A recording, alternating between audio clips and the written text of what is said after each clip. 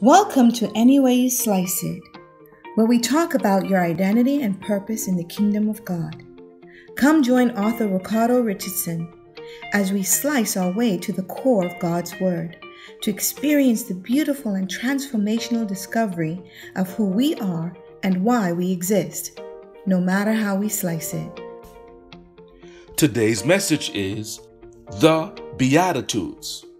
Beloved family, our text says, Blessed are the poor in spirit, for theirs is the kingdom of heaven. Blessed are those who mourn, for they will be comforted. Blessed are the meek, for they will inherit the earth. Blessed are those who hunger and thirst for righteousness, for they will be filled. Blessed are the merciful, for they will be shown mercy. Blessed are the pure in heart, for they will see God. Blessed are the peacemakers, for they will be called children of God. Blessed are those who are persecuted because of righteousness, for theirs is the kingdom of heaven. Blessed are you when people insult you, persecute you, and falsely say all kinds of evil against you because of me. Rejoice and be glad because great is your reward in heaven. For in the same way, they persecuted the prophets who were before you. Matthew 5 3 to 12. These blessings that King Jesus Christ recounted to the people in the Sermon on the Mount are referred to as the Beatitudes. Beatitudes. This is Jesus Christ's belief system.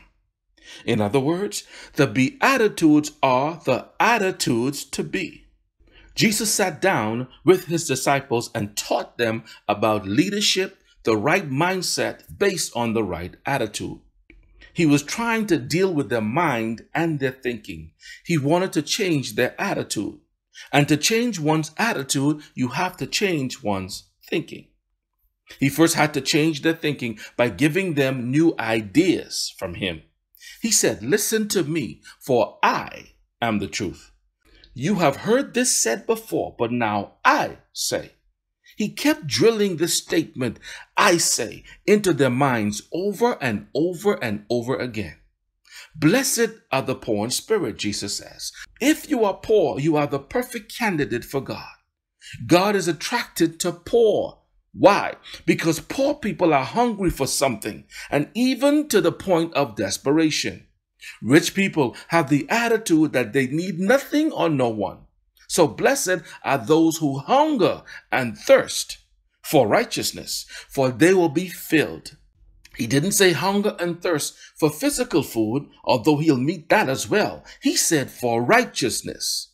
When he taught and fed the 5,000 and 4,000, they were hungry for fish and bread, and some missed the bread of life. Don't be the same way. Don't miss the message about the kingdom because you focus on religion or on the desires of your stomach or the world. If we desire God, He will make Himself known. Our leaders in the world today can learn much from the Beatitudes. Many need an attitude adjustment. They use power to oppress, but power should be used to lift up people, not oppress them. It's all about attitude. God's obedience from man was led by example of Jesus Christ being God, showing obedience by submission to Mary and Joseph, his earthly parents. This teaching or Sermon on the Mount was a parable. Why did Jesus speak in parables? A simple story to illustrate a moral or spiritual lesson. It's because Jesus Christ is the manifested thoughts and word of God, and God is hidden in the parable. And those that seek him will find him. Jesus says to his disciples, I speak to them in parables, but I speak to you plainly. Why? Because you have already submitted to me. They haven't. Then he says, For seeing they may see, and hearing they may hear. In other words, I don't want no one to understand without submitting, because they will use their understanding the wrong way. Let that sink in our minds. God is hidden in the Word. God is hidden in Jesus Christ. And those who seek Him find God.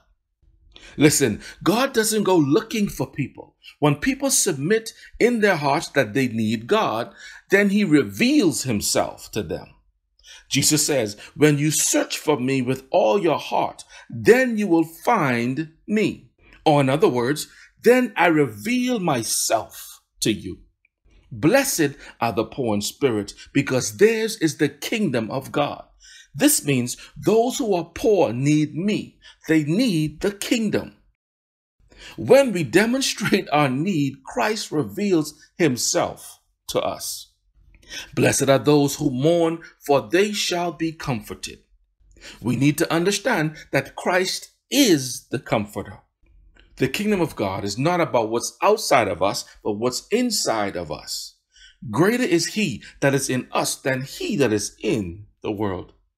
This is the right attitude toward God. He wants you and I to be righteous and to be right with him. It's all about the attitude of righteousness, peace, and joy in the Holy Spirit. Joy brings enjoyment. Peace brings worry free living. Righteousness brings right standing with God. All brings the right attitude in our minds toward Christ Jesus. Much love.